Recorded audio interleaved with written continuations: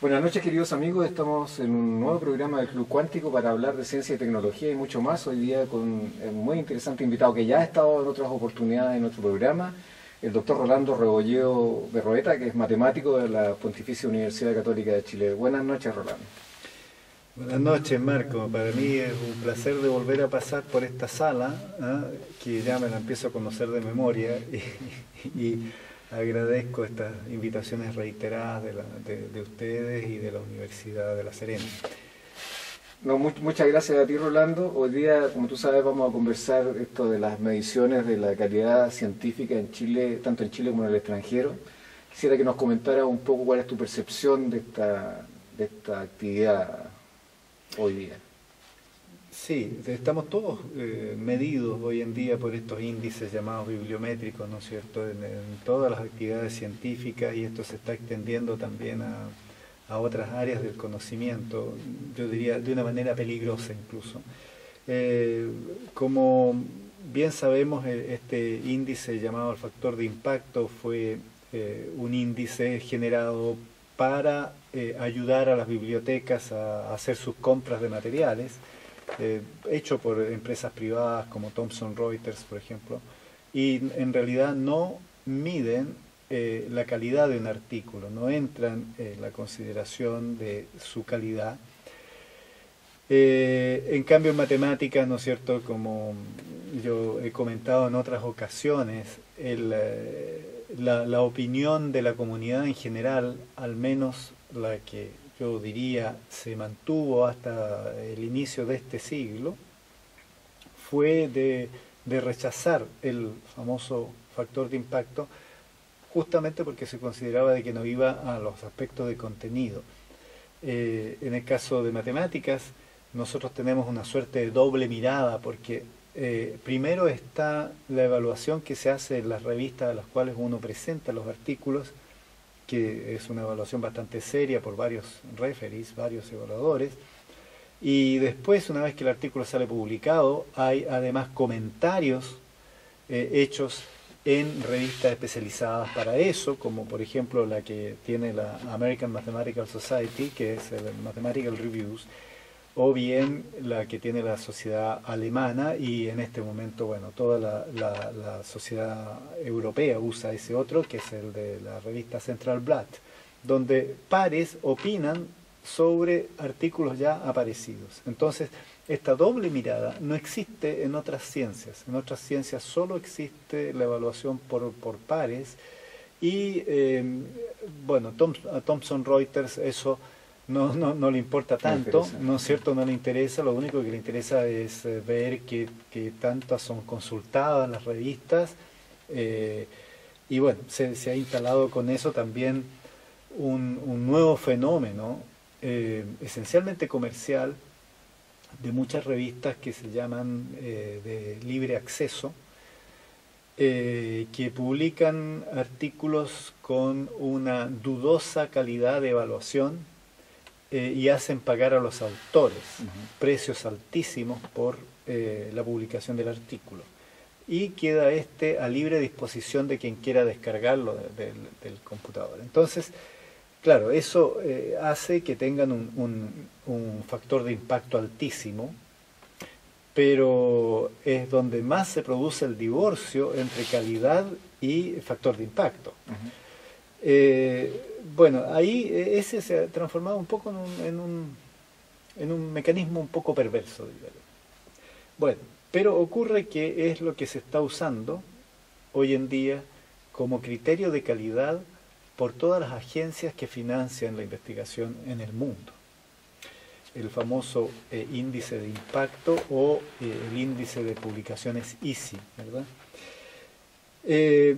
ahora, esto obedece a, un intento de visión, eh, yo diría, unidimensional del mundo, ¿ah? de, tratar de comparar eh, todo eh, en una línea, colocar un orden en una línea para actividades humanas que son extraordinariamente complejas y que no se pueden reducir a una sola dimensión. Pero este, estas empresas no solamente tienen que ver con, con estos indicadores, sino que funcionan como empresas comerciales. Nosotros recibimos prácticamente todos los días notificaciones de una u otra respecto de cualquier tema. Sí. Entonces, es un negocio finalmente, ¿no? Sí, sí, es, es un negocio. Y eh, a mí me preocupa eh, el aspecto de reducir el conocimiento a, una sola dimensión. E, es, eh, es muy grave porque todos sabemos que el quehacer académico y el, el, quehacer de un investigador no es solo publicar un artículo o publicar artículos o libros. Bueno, de hecho, los libros no siempre entran en consideración, sino que solamente los artículos que son easy.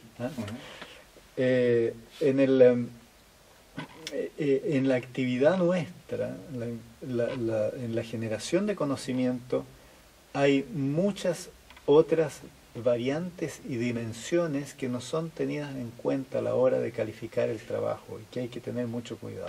En algunas universidades algo se ha podido hacer, pero en otras yo creo que sigue, y sobre todo también en las agencias de financiamiento, siguen utilizándose esta, sigue utilizándose esta visión reductora de, contar las, publicaciones easy.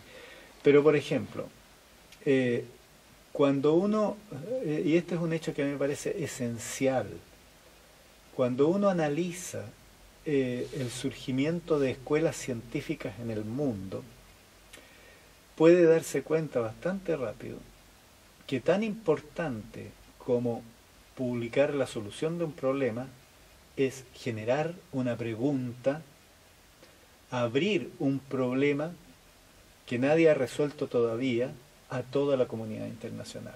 Estamos hablando respecto de esta otra manera de medir la calidad en publicaciones. Sí, yo te... O en productividad. En la productividad, sí. Yo estaba mencionando la importancia que tiene la pregunta o el problema eh, en la generación de escuelas de pensamiento y escuelas científicas. Es decir, eh, una, una escuela científica ha alcanzado madurez realmente cuando es capaz no sólo de producir eh, artículos que responden a problemas planteados por otros, sino que cuando es también capaz de producir problemas que atraen la atención universal y que atraen la colaboración científica de otra manera, es decir, que los investigadores empiecen a venir a esta escuela porque se está trabajando sobre tal o cual problema, tal o cual pregunta, ahí ya podemos hablar de que hay una escuela. Si no, si nos mantenemos solamente eh, corriendo detrás de problemas que se plantearon en otros lugares, nunca vamos a generar masa crítica de peso en un país determinado. Entonces, eso no se, no se mide, eso no te lo puede medir eh, un índice bibliométrico. La otra hay, hay, una serie de otras actividades que nosotros hacemos. Bueno, por supuesto está la formación de, jóvenes, ¿no es cierto? La formación de, de los doctores, la formación de los jóvenes investigadores. Pero también hay formación y formación.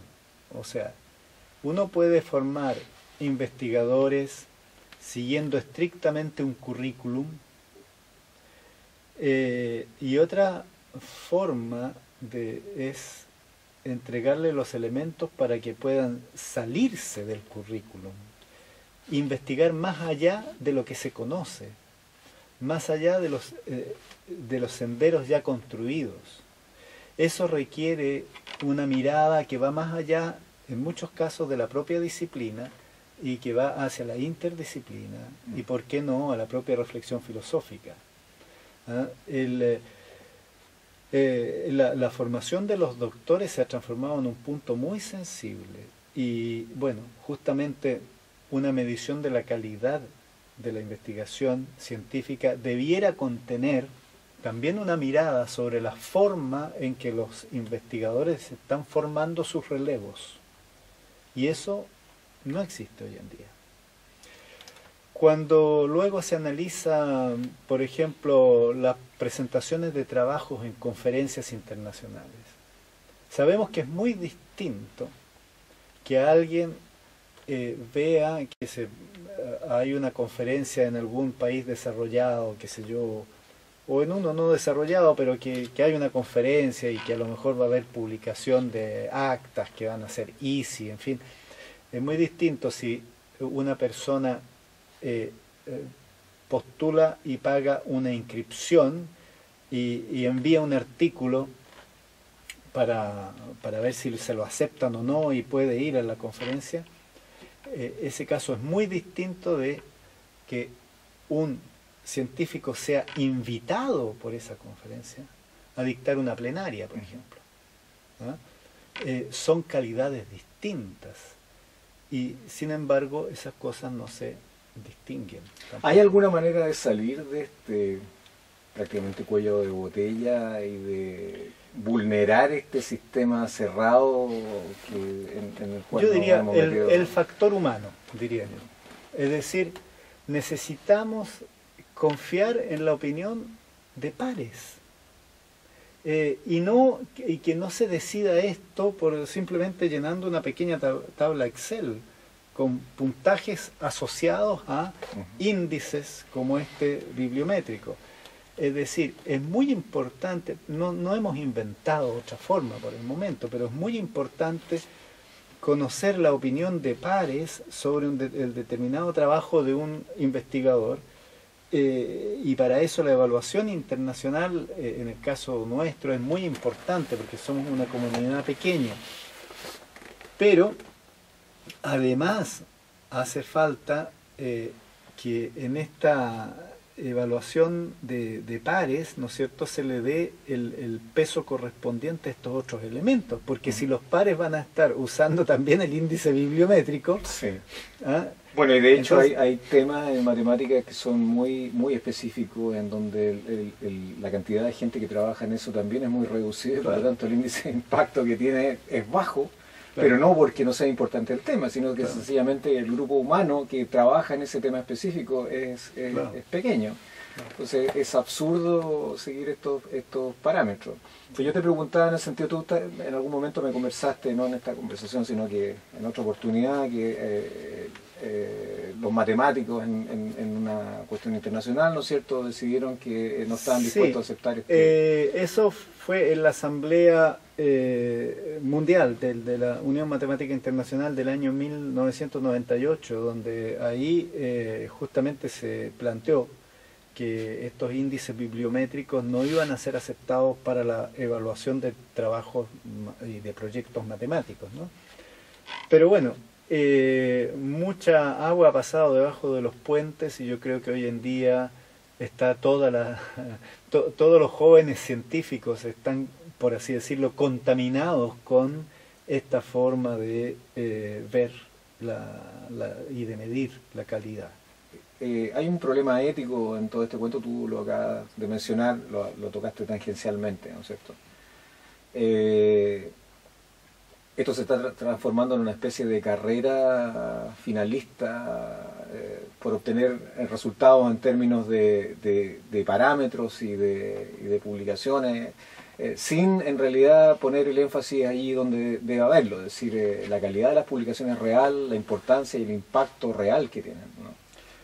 Sí. no es, no es, un, no es una, una, estructura de la cual es difícil salir tomando en cuenta que prácticamente estamos en un sistema de mercado de la investigación. Sí, eh, hay, hay, una, hay enseñanzas que tiene la práctica científica que yo valoro mucho y que no siempre se destacan suficientemente. Es decir, el, el, científico honesto es, eh, desarrolla una ética de trabajo eh, que está, bueno, que en muchos casos es ejemplar, o sea, el hecho de que alguien sea capaz de reconocer un error, por ejemplo, eh, es, un paso, o sea, es un pequeño retroceso quizá para, para este investigador, pero es un gran paso para la humanidad, para obviamente.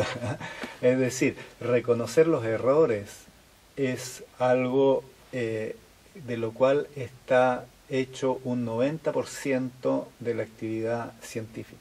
O sea, lo que más cometemos, ¿no es cierto?, los científicos son errores, porque como estamos tratando de transformar la naturaleza para poder conocerla, eh, claro, cometemos errores, pero justamente el, la, eh, el, método científico consiste en no confundir el error con el fracaso y, y tomar el error como una forma de encontrar la buena vía para continuar.